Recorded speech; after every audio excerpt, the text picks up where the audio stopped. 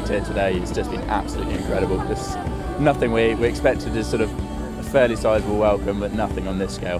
Challenging, tough, much tougher than I thought it was going to be. The boat was heeled over most of the time, so living life in a 45 degree angle.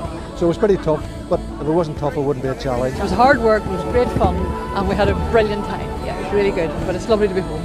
This is meant to be our, you know, arrival weekend, where it's meant to be sort of very easy going, and we're having record crowds, so I think the finale one's going to be really, really amazing, and hope the team get the sense of how much the city are proud of them and that we really are very proud that they're part of our journey for 2012 and 2013. The arrival in the Derry is amazing, like just to see everybody about and we're actually met by a flotilla of boats out uh, north of Malin Head.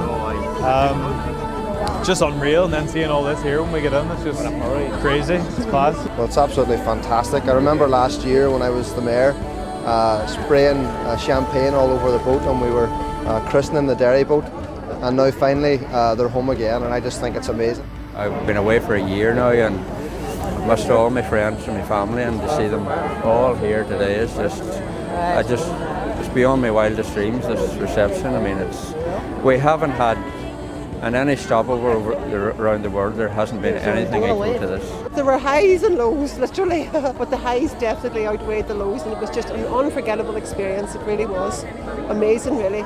It's made me see myself in a different way it really did. Uh, I saw weaknesses that I have and I saw strengths that I didn't know I had. So uh, I have a lot of reflecting to do, really have, and I have a lot of exciting things I want to do for the rest of my life.